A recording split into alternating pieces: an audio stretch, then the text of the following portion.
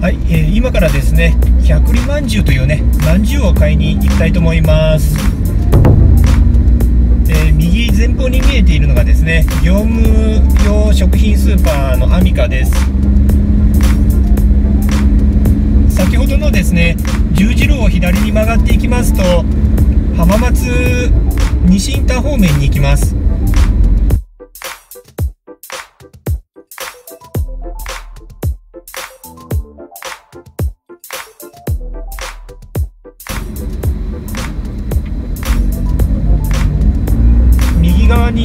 イエローハットがありますね。車の用品店です。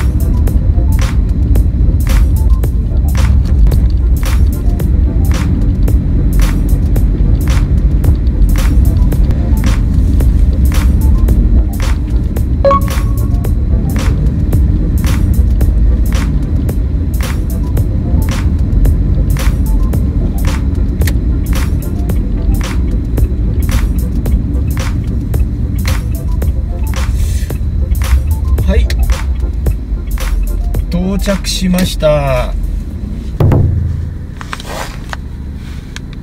い。今ね早速購入してきました。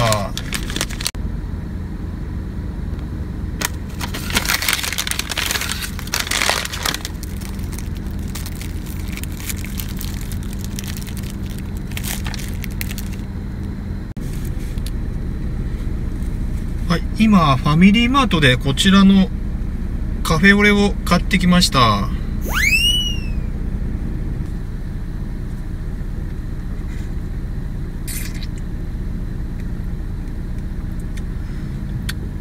あ、カフェオレの味がしますね。